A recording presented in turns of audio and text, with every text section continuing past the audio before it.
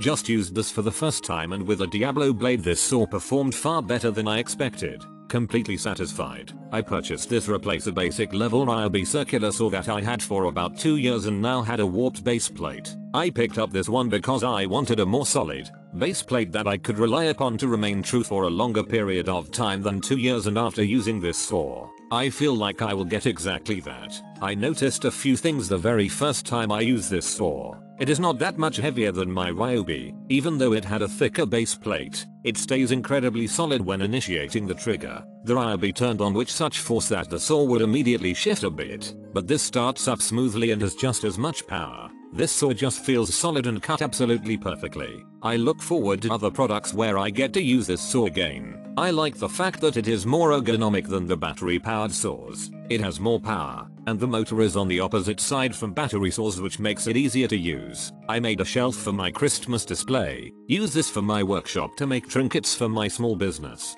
Cuts plywood easily and evenly, super easy to set up, and the buttons and controls are easy to navigate. Own several craftsman tools and they consistently have great quality products. Powerful enough to not bind or get stuck on various woods while cutting. Also has a nice grip for better control. Overall, highly recommended.